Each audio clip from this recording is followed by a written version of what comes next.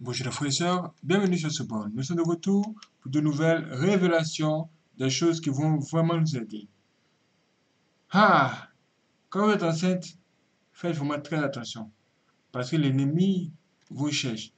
Il cherchera à bloquer ce bonheur qui se trouve dans votre ventre. Faites très attention. Et à quoi ressemblent les attaques de sorciers envers une personne enceinte? Écoutons ce témoignage pour en savoir plus. C'est parti. J'étais allée en vacances dans une ville de la Côte d'Ivoire. Et là-bas, j'ai contracté une grossesse. J'ai contracté une grossesse. Et quand je suis revenue après les vacances à Abidjan, mon papa a demandé que je y retourne dans la famille euh, du père de l'enfant, en fait, pour accoucher. Donc, je suis allée, vu que la ville, il y avait euh, à Daloa, il y avait mes parents aussi maternels là-bas. Donc ça ne dérangeait pas. Je suis allée, je suis restée dans la famille du père et l'enfant en attendant l'accouchement. Ça se déroulait bien, ça se déroulait bien. Et à un moment donné, dans le secteur, c'était devenu fréquent dans la ville entière même. Les femmes qui allaient accoucher, soit elles, elles, elles meurent, soit c'est le bébé qui reste, soit c'est les deux qui restent. Bon, on avait des voisines. À chaque fois qu'une partait accoucher, on nous annonçait que le bébé est décédé ou bien que la, la mère est décédée.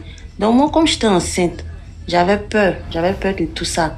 Donc ma tante qui était là-bas, ma tante a conseillé que je vienne chez elle. Étant enceinte, je vienne chez elle pour qu'on on, on, fait des rituels là. Le jour de mon accouchement, tout, tout va bien se passer.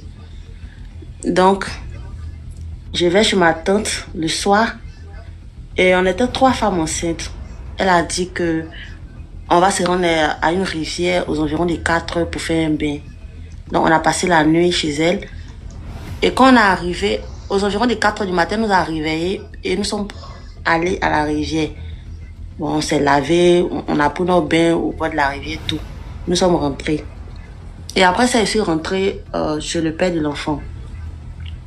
Étant là-bas, je me sentais pas bien, je me sentais pas bien dans ma grossesse. Donc, la, ma belle-mère en question m'envoyait chez un, chez un marabout pour aller consulter, voir si ma grossesse va bien se passer, si le jour de l'accouchement, tout va bien se passer.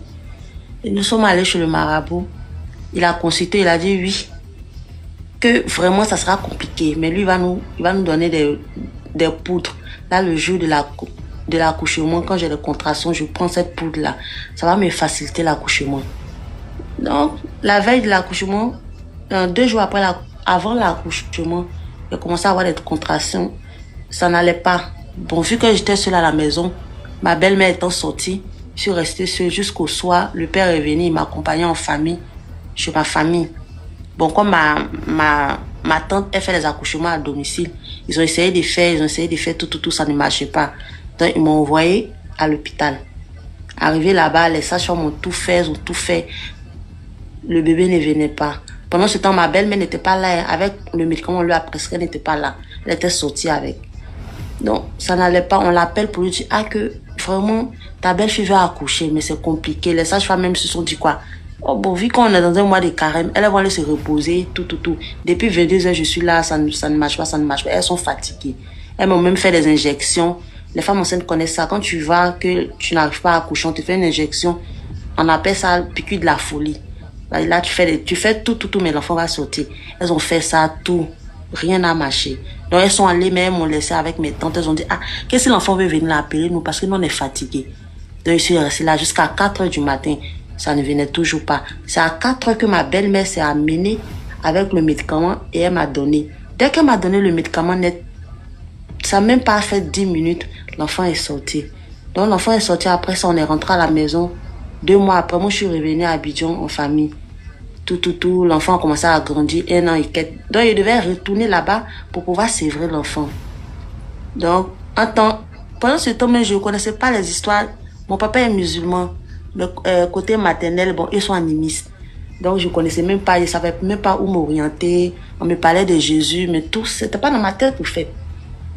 Donc, un temps, j'étais assis. Avant de faire, effectuer mon voyage c'est Dalois pour sévrer ma fille, était là et puis il y a les gens de Dieu qui ont passé, qui sont venus évangéliser, qui nous ont invités à la prière, tout.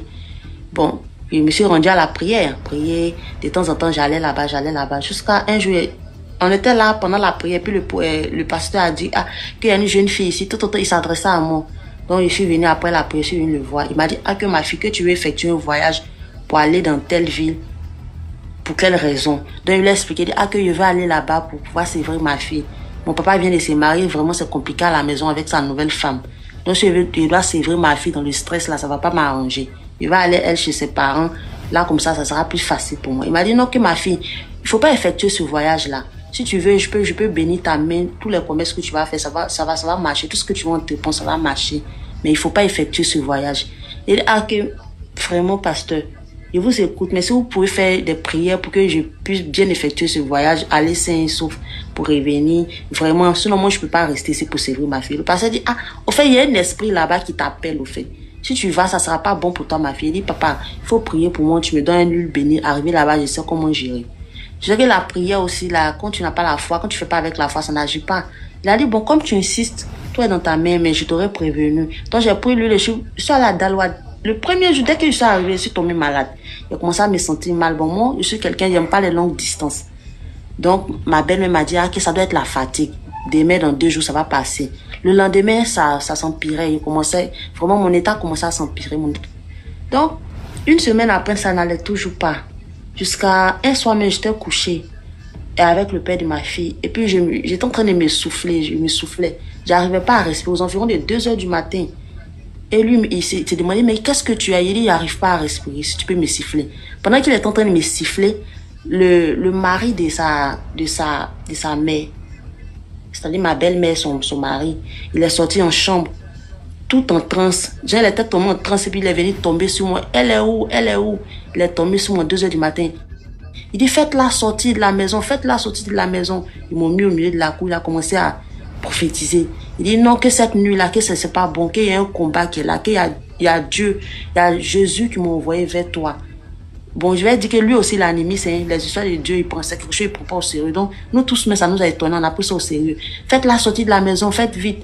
Il a commencé à dire, ah, que vraiment, où tu es là aujourd'hui, là, ils t'ont envoyé ici pour te tuer, pour mettre la responsabilité sur ta belle-mère que tu es là.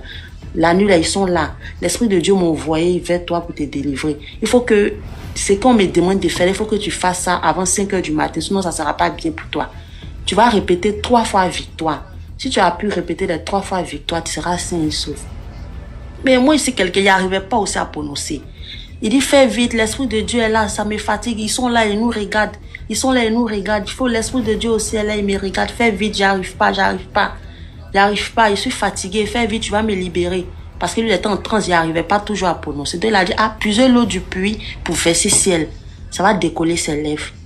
Donc, ils ont puisé l'eau du puits, ils ont versé sur mon première fois, il n'arrivait pas à prononcer victoire. Ils ont puisé deuxième fois, ils ont versé sur mon, c'est sorti en léger victoire. Il dit, non, prends courage.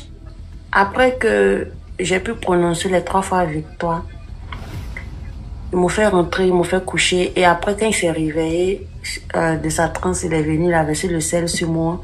Il a dit qu'on devait laisser le sel sur moi jusqu'au matin. Donc, j'ai dormi avec le sel jusqu'au matin. Avant ça même, parce qu'il a sauté plusieurs étapes, avant ça même, pendant ma grossesse, j'avais rêvé que on voulait me poignarder dans le ventre et j'ai tourné le dos. Donc, c'est sur les fesses qu'on m'avait poignardé en rêve. Mais quand je me suis réveillée, euh, les traces étaient là. Le trace où on voulait me poignarder là, c'était encore sur mes fesses. Ça avait fait un trou, même un creux. Même quand je portais un pantalon ou un collant, on pouvait sentir qu'il y avait un creux sur les fesses. Mais quand il a fini le lendemain, ça allait un peu, je me suis levé un peu, il était assis dans la cour, ça allait. Une semaine après, il me suis rétabli bien. Pendant ce temps, avec les autres filles qu'on avait fait le bain, il y a une qui a, perdu l'enfant à la naissance et à l'autre, elle avait bien accouché, mais après, elle a eu des complications de saignement et on l'a ramenée à l'hôpital. Moi, quand je me suis senti bien, je suis dans ma famille. A su que ma tante avait fait quelque chose qui vraiment n'était pas bien. Hormis ça même là, une autre histoire avec ma mère que je vais raconter une autre fois. Mais... Waouh, vous avez entendu cela C'est grave. Dites-moi ce que vous pensez. Mais la tante en question même, elle n'était pas, elle n'était pas, elle était, elle était un peu louche. Donc quand le monsieur a fini de prier pour moi, il me suis dit quoi qu'il avait donné ma vie à Dieu. Il a commencé à prier. Avec l'huile bénite que le pasteur m'avait donné, il a commencé à prier fort fort. Parce qu'au début, ça, il priait, mais malgré ça, il s'est quand même tombé malade. Parce que peut-être que j'avais pas trop la foi. Je, ne savais pas utiliser l'huile sainte aussi. Donc après ça, j'ai commencé à utiliser sainte. Quand je vais, mais je regarde ma tante, je souris.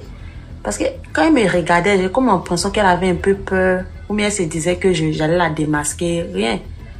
Bon, en tout cas, ça s'est bien passé pour moi. Ça s'est bien passé. Ma fille, là, elle va bien. Jusqu'à présent, je j'ai pas encore mis les pieds à Dalois. Depuis que je suis quittée pour le truc de ma fille, j'ai pas encore mis les pieds à Dalois. Jusqu'à ce que ma tante là ne meure, j'ai pas encore mis les pieds là.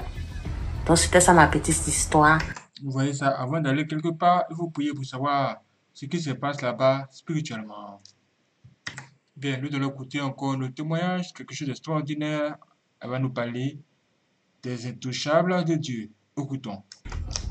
Des intouchables de Dieu. Des intouchables dans, dans le sens où il y a des gens qu'on ne peut pas prendre pour, pour sacrifice. Donc, euh, euh, en 1980, entre 93 et 95, Blanche, elle a vécu un peu au Cameroun, chez sa, soeur qu'on appelait Tanti, qui avait le mari blanc exploitant forestier. Donc, dans le quartier, elle a fait la connaissance d'une dame qu'on va nommer Tata Néné. Tata Néné a vu un jour Blanche passer dans la rue et puis elle l'a abordé, sachant qu'elle connaissait Tata et, Tanti. Et elle a dit à, Blanche qu'elle aimait bien son affaire, donc elle voulait la prendre comme sa fille de quartier. Donc c'est comme ça, il y a une amitié qui a débuté. Donc des fois, quand Tata Néné devait partir à ses, à, ses réunions, l'histoire s'est passée à Yaoundé. Hein. Quand Tata Néné devait partir à ses réunions, elle venait chercher Blanche pour que Blanche l'accompagne. Donc quand elles arrivent là-bas, il y a, le repas, il y a la boisson, il y a tout. Blanche, elle, elle, elle buvait, mais par contre, elle ne mangeait pas. Parce qu'elle s'arrangeait toujours à manger avant d'arriver à la réunion. Donc, pendant le, le, repas, la beuverie et tout, les femmes là parlaient, c'était une réunion de femmes. Les femmes là parlaient en français. Par contre, dès que le repas finit, et qu'il fallait commencer la réunion à proprement parler, elle ne parlait qu'en langue. Bon, je vais dire Yaoundé parce que je ne connais pas bien. Je sais qu'il y a Douala et tout, mais je, je connaissais Yaoundé là. Les gens de Yaoundé, je ne sais pas de quelle ethnie ils sont. Donc, les gens parlaient qu'en langue. Une fois que la réunion commençait, elle ne parlait qu'en langue. Et maintenant, au moment de la cotisation, puisqu'elle dit que c'est une réunion où on fait la tontine et tout, au moment de la cotisation, elle ne sortait jamais de l'argent. Qu'est-ce qui se passait? C'est-à-dire, toi, tu prends ton sac, tu passes à ta voisine, ta voisine prend son sac, elle, passe à l'autre voisine. Bon, Blanche, elle, elle, assistait, elle s'est dit, ben, la dame dit c'est une réunion de tontine, ou bien c'est à cause de ma présence qu'elle ne veut pas sortir de l'IAS et tout. Donc, c'est comme ça, Blanche, finalement, à chaque fois qu'il fallait arriver aux cotisations, elle partait s'asseoir dehors pour attendre que la réunion finisse et puis Tata Néné la retrouvait là et puis elle partait. Donc elle lui demande mais c'est quelle réunion? Elle dit non, c'est la réunion de femmes et tout. Bon, c'était comme ça. Donc elle a fait plusieurs fois, elle accompagnait Tata Néné à la réunion. Et puis un jour, la dame lui demande, Blanche, est-ce que ta maman vit toujours? Elle dit oui, ma maman vit. Et puis elle lui dit, mais tu sais qu'elle va, elle va mourir. Et Blanche lui dit, oui, je sais que ma maman va mourir. Elle dit, non, mais elle ne peut pas quand même mourir de manière gratuite comme ça. Elle dit, mais je ne comprends pas. Normalement, tout être, tout être humain est appelé à mourir, mais quand tu demandes si elle va mourir gratuitement comme ça, ça veut dire quoi? Et Tata Néné qui lui dit, tu sais, tu peux la donner. Je lui donner comment? Non, tu peux la donner et puis en échange de cela, tu peux avoir de l'argent. Donc Blanche, toute curieuse, elle demande à Tata Néné, mais je donne, avoir de l'argent, c'est quoi? C'est quel argent? Elle dit non, ça dépend du montant que toi tu veux. Si tu veux par exemple avoir 200 000, tu peux être chez toi à la maison et puis l'argent va apparaître chez toi comme ça à la maison. Et ça, Blanche dit non, que ça ne m'étonne pas. Elle dit non, mais si ta maman meurt, D'abord, vous êtes combien d'enfants? Dans la famille des Blanches, ils sont huit enfants. Elle dit, mais si tu donnes ta maman là, vous les huit là, toi tu peux prendre l'argent et t'occuper de tes huit là, il n'y a pas, a pas grand chose à faire. Blanche lui dit non, ça ne m'intéresse pas. Mais comme la dame l'aimait beaucoup, elle continue. C'est vrai qu'elle s'était à un moment donné retirée de la dame parce que cette proposition était vraiment assez bizarre. Mais elle n'a pas totalement coupé avec la dame. Et entre-temps, ce qu'elle avait remarqué, à chaque fois qu'elle partait chez Tata Néné, comme elle ne, elle ne posait pas avec les gens de la, de la maison, elle restait dans la chambre de la dame. La dame dans sa maison, c'était une villa cossue avec de l'eau, euh, comment on appelle ça, un chauffe-eau. Mais à chaque fois que la dame devait se laver, elle partait faire bouillir de l'eau dans la cuisine. Et elle rentrait avec le seau dans la douche. Mais Blanche, la dame, le seau qui était, l'eau qui était vraiment bouillante là, quand la dame veut se laver avec ça, on n'entend pas, genre, comme si elle, mettait une ajustion d'eau froide pour pouvoir, comment on appelle ça, équilibrer la température. Mais c'est avec cette eau chaude, chaude, chaude, chaude, bouillante là que la dame se lavait. Donc au fil du temps, Blanche a remarqué qu'il y a des fois, Tata Néné avait du mal à marcher.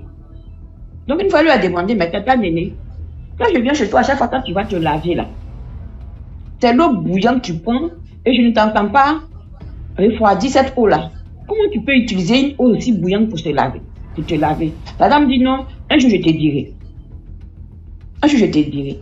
Maintenant, Blanche aussi, elle a remarqué que Tata Néné avait deux enfants. Elle a un premier fils qui est décédé et sa fille, sa, deuxième, c'était une fille à 15 ans, la fille a quitté la maison, elle allait faire un mariage cru parce qu'elle ne voulait plus rester avec sa maman. Et Tata Néné, elle était, elle était mariée avec un Nigérian du Biafra.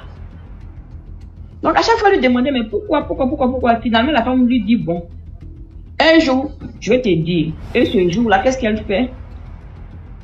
Pendant qu'elles sont dans sa chambre, la dame se dénude et puis elle montre ses parties intimes à Blanche. Elle avait le sexe féminin et puis le bazooka du garçon. Oui. Et tout était des plaies. C'est-à-dire, ça partie génitale en fait.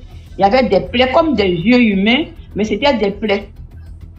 En fait, c'est ce que la dame partait chauffer dans la maison. Chaque jour qu'elle partait se laver. Et il n'était pas connu d'activité de, financière, mais la dame, elle avait de l'argent. Et non seulement ça, elle-même, la tata Néné, sa mère était une pharmacienne qui avait de l'argent, qui avait des voitures. Mais quand tu arrives là où la maman l'a là, c'est-à-dire c'est des maisons en tôle. Mais par contre, quand tu rentrais à l'intérieur, tout ce que tu ne pouvais même pas imaginer qu'il y avait, il y avait dans cette, dans cette maison-là. Et du coup, Tata Néné, elle avait fait un premier mariage avant qu'elle ne marie ce biafrais là. Et c'est ce monsieur-là qui disait que non, que quand il était avec sa femme au début, elle n'était pas hermaphrodite. Elle n'avait pas les deux sexes.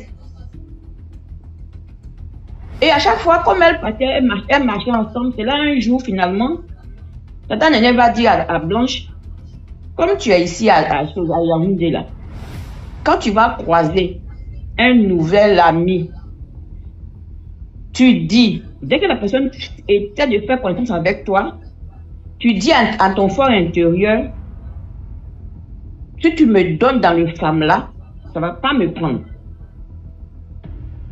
Et quand tu dis ça, automatiquement, si quelqu'un était venu envers toi avec des mauvaises intentions, le ce qu'il allait faire, ça n'allait pas réussir.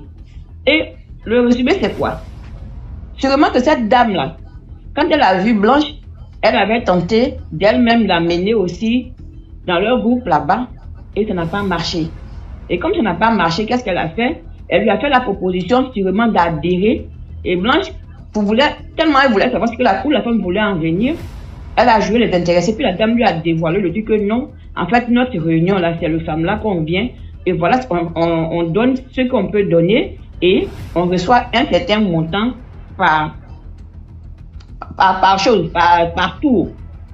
Sauf que, ayant, ayant, déjà donné, ayant déjà donné son, son premier fils, sa fille qui restait, la fille la fuit, elle est sûrement elle est sûrement peut-être partie se protéger quelque part, donc du coup, la dame était obligée de donner une partie de son corps. Et son mari, sûrement aussi dans les mêmes, dans les mêmes choses, parce qu'ils sont restés mariés malgré que elle avait son, ses parties génitales totalement pourries et puis elle avait les deux manchettes de, de femmes et des garçons. Donc, comme je disais, Blanche, la chance qu'elle a, c'est que c'est quelqu'un qui a vraiment, Dieu a vraiment sa main sur elle jusqu'au jour d'aujourd'hui. On est ensemble même ce week-end-là. C'est parce qu'elle a du mal à monter qu'elle m'a raconté cette histoire-là pour que je te la raconte. Elle, a vraiment la main de Dieu sur elle. Donc ceux qui passent leur temps à sacrifier les enfants des autres, c'est pas tout le monde qu'on sacrifie. C'est pas tout le monde qu'on sacrifie. Et quand toi, tu ne connais pas ton alliance que tu as avec Dieu, il faut prier. Parce que les amitiés sont aujourd'hui cancérigènes. Et donc la femme lui a dit, ça c'est pour vous qui êtes au, Cameroun aussi, que quand tu rencontres une nouvelle personne, tu dis intérieurement, si tu me donnes dans ton femme-là, on ne pourra pas me prendre. Et ça, c'est une barrière automatique. Pour ceux qui ne croient pas peut-être en Dieu, mais ça, déjà, cette parole-là, ça te donne un ascendant, ou bien ça te, ça ça te comment on appelle ça, ça te sauve de n'importe quelle initiation dans le femme-là. Bon, ça, c'est la deuxième histoire. Et puis, bon. Waouh, dites-moi ce que vous en pensez. Si je vous donne rendez-vous pour la suite, c'est pas terminé.